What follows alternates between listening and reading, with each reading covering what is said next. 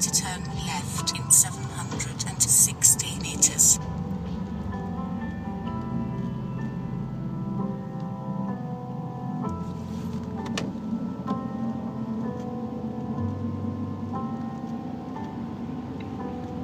Toto je úplná víkendová oddychovka s nejakou dobrou knihou a ešte aj Krištof k tomu, čo viac človek môže prijať. Ale ak ste na